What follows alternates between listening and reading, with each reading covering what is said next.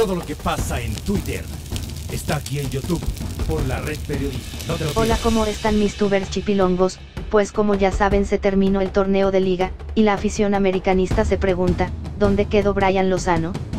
La joya uruguaya de 21 años, que tiene un tiro libre espectacular, que es hábil con el balón y tiene regate, ¿qué razón tuvo Nacho Ambriz, para no darle minutos en él?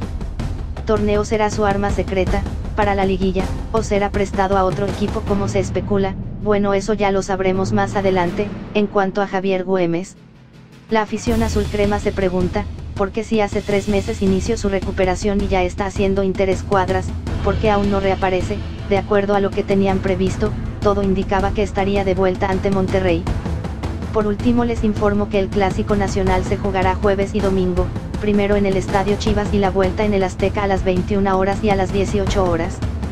Para finalizar, les comento que el que está incitando a la violencia, antes del partido, es el comentarista deportivo José Ramón Fernández, quien anda calentando el ambiente del partido en su programa Fútbol Picante, esperemos que los jugadores logren dar un partido espectacular y bonito y no una batalla campal como la vaticina, el comentarista de la cadena deportiva Ispien, esto fue Reporte Azul Crema presentado por la red Periodismo, soy tu amiga Andrea Fuentes si te gusta pinchale a la manita y suscríbete al canal.